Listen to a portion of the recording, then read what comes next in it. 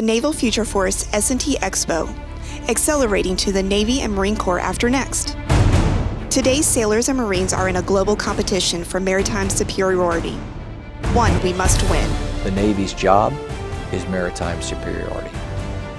For us to keep maritime superiority and deter conflict around the globe, we need to maintain that technological advantage. Maritime superiority begins at the Office of Naval Research. Under a new strategic framework, research priorities and investment portfolios will align, allocate, and accelerate decisive capabilities to naval forces. As we think about the world that we are operating in today as a Navy and Marine Corps, and then envision what that world looks like tomorrow, I think we recognize that the competitive pressures that we're under to maintain and potentially extend our competitive advantage is enormous.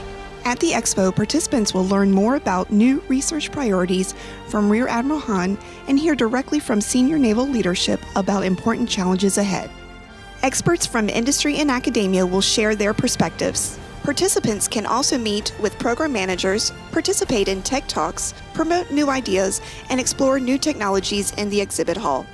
Join us July 20th and 21st as we accelerate to the Navy and Marine Corps after next. Together.